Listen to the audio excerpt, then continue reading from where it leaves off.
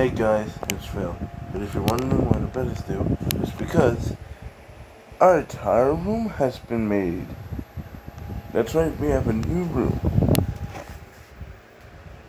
If you like it, make sure to like and subscribe. Bye.